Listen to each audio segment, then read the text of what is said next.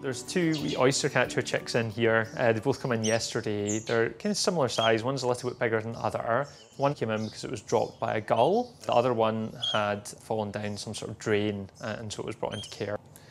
He's very skinny. He looks quite fluffy, but that's because he's got all this downy sort of feathering on him.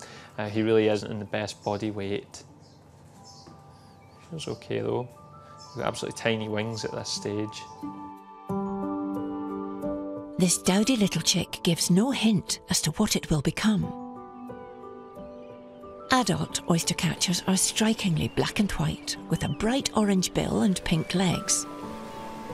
As waders, they're most often found on beaches, seeking out shellfish and worms. But in the last 50 years, more and more have been found inland, living and breeding by rivers and streams. Sadly, these beautiful birds are in decline in Scotland, and so any saved individuals can only be a good thing. These guys have been pecking away at their seeds, which is really good because sometimes when the oyster catchers come in this age, they're just really stressy and they don't like when you touch them and they just want to be away from you. But these guys aren't too bad. This is a little one. I think he does take a wee bit better than the other. See if he takes.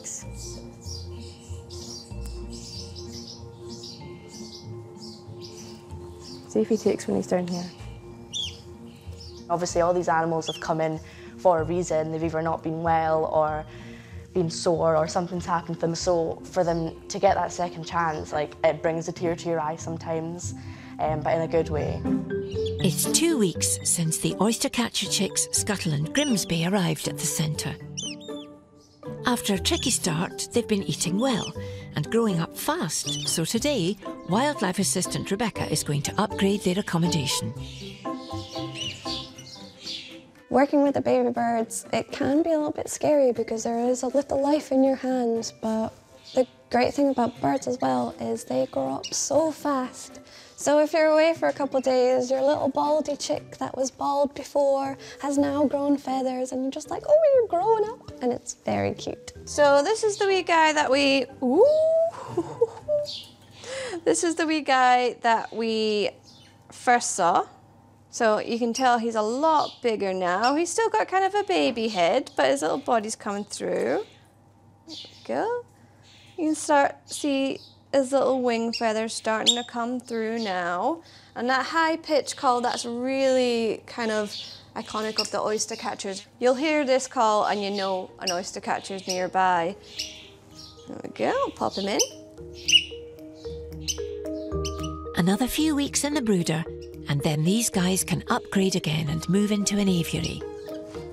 We'll start to put them outside when most of the floof is off them and you can see the majority of them is just the, the proper feathers coming through and that means they're able to fly and then we know they're definitely ready to go. Because at this stage you wouldn't be able to get any flight at all. So that's why we've got them here.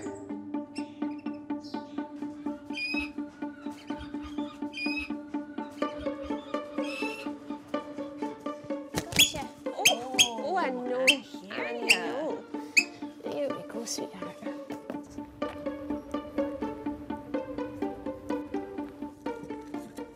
we go,